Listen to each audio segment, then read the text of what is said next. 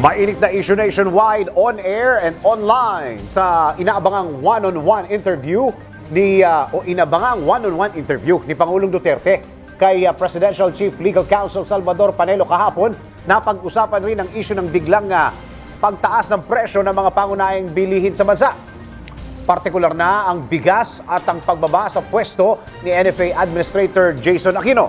Aminado ang Pangulo na hindi bed of roses ang ekonomiya ng bansa pero may nakikita itong epektibong solusyon na nararanasan o sa naranasang krisis ng Pilipinas. Kung ano kaya ang solusyon ito ni Pangulong ah, Duterte. Tutukan sa report ni Pichi Gonzalez.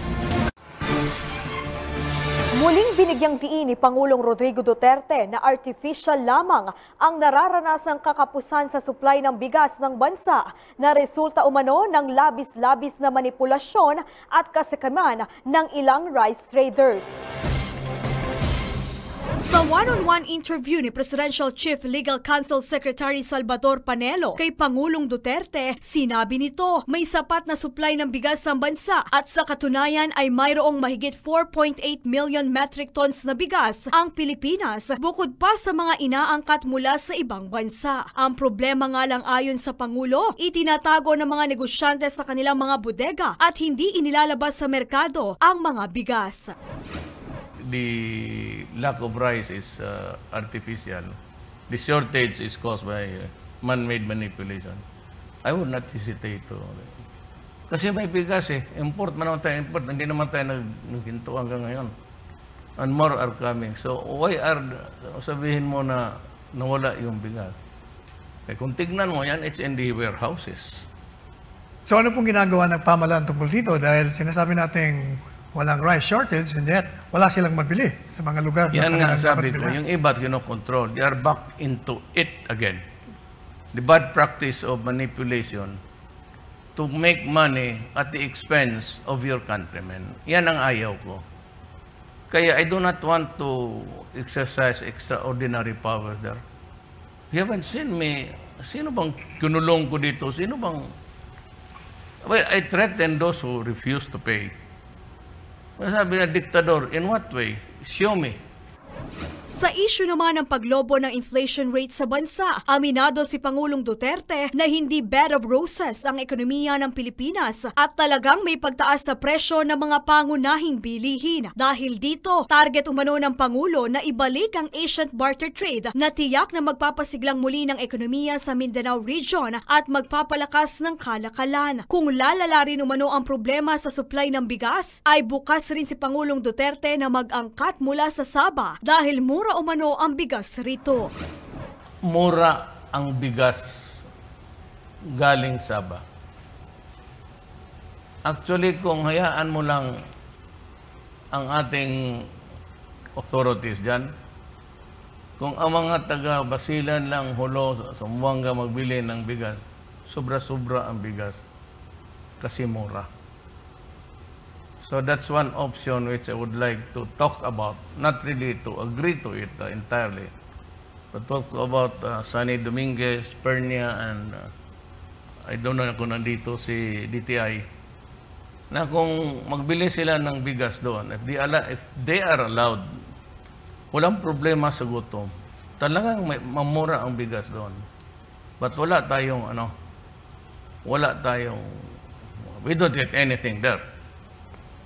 I-barter nila, whatever it is, what arrangement, we'll just have to control the rice dyan sa mga Moro. Baka sabihin nila ginugutom sila. And the Christians who cannot really afford the rice.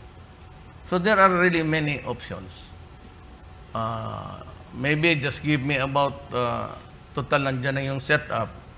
I'll just uh, set up the barter trade again. Samantala ibinunyag naman ni Pangulong Duterte na naghahanap na siya ngayon ng bagong mamumuno sa National Food Authority matapos bumaba sa pwesto si NFA Administrator Jason Aquino. Hindi na kasi anya kinaya ni Aquino ang matinding pressure. Jason Aquino has requested that he be relieved already. And he Relief said, from- said that he's tired and he cannot cope up with the mm, laro dyan sa inside, which is always ordinary. Uh, happening in, in government because we cannot be cannot be in agreement all the time. I will scout for a new one, and uh, the only way is to import more. Mag-buffer ako. Ang sinabi ko noon, ang buffer ko, I need about 60 days of buffer.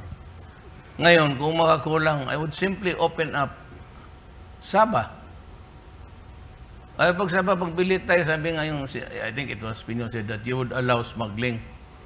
Ah, nga, doon, yun pala ang ibig niya sabihin. Ah, kala kong outright smuggling na anywhere. Sabi ko, we can always make arrangements. I can only I can only say you're, you're allowed to buy your uh, daily consumption plus 7 days plus 30 days 365 a year computed per family. Oh, you can import this much. Control lang. Sabihin mo walang bigas, o sige. Doon tag 16, 18. O di bilhin ninyo. Bakit ko isakripisyo ang Pilipino dahil lang sa taxes kung wala namang kinakain? Bukod dito, pinag-iisipan na rin ni Pangulong Duterte na buwagin na ang NFA Council para mabawasan umano ang mga taong nakikisawsaw sa rice importation. Para sa DZRH Network News, Pichi Gonzalez naglilingkod sa pagbabalita. Para updated ka sa mga ganapan sa loob at labas ng bansa, mag-subscribe sa DZRH News Television YouTube channel. Mag-like, share, comment at iring ang bell para araw-araw updated ka.